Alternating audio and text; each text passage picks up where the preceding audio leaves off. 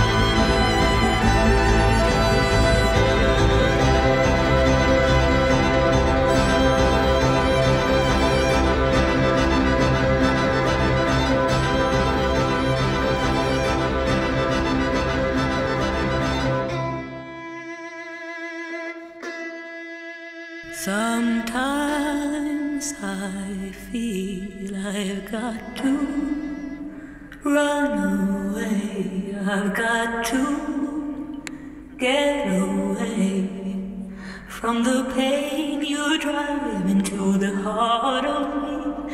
The love we share seems to go